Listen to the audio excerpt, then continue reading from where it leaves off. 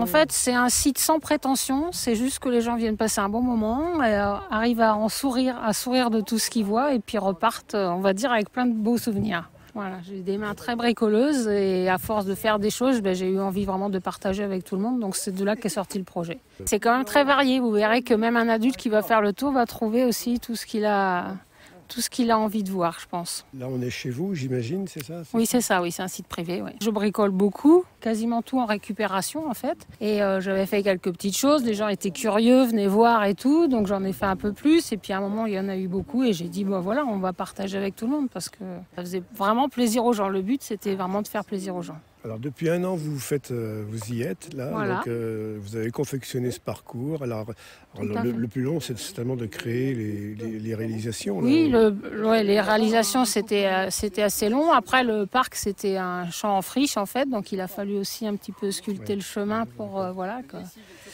qu'il y ait un joli parcours, en fait, qu'on puisse en profiter. Ce qui va vous tenir à cœur, c'est les réactions des- du Voilà, public. tout à fait, c'est ça. Voilà.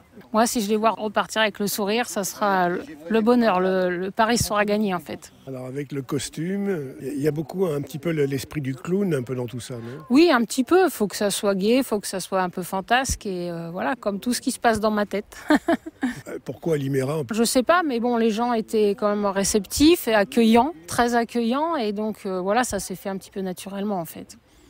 Alors qu'est-ce qui se passe? On va de surprise en surprise, il faut se laisser aller et puis. euh, Voilà, et donc il y a tout un cheminement à faire.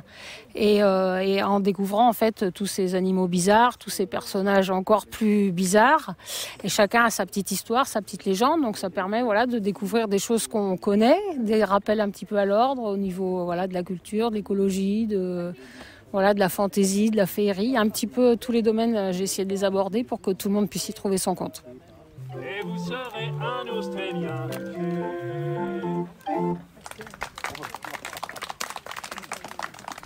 Est-ce que vous étiez dans le métier avant Vous Pas êtes, du euh, tout. Vous êtes- vous êtes dans le métier du spectacle euh, Non euh, plus. Non plus. J'ai commencé dans un centre équestre en fait. Après, on était en Bourgogne et j'avais créé un musée sur le loup. Donc là, l'esprit un peu créatif a commencé. Et puis voilà, c'est venu après au fur et à mesure en fait.